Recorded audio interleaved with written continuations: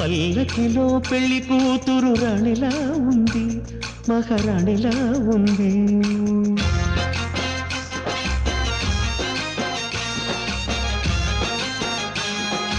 రాణిగారికి సిగ్గులు వచ్చే రాజుగారికి చిరునవ్వొచ్చే ఈ ఇద్దరి పెళ్ళికి ఆనందం అతిథిగా వచ్చే.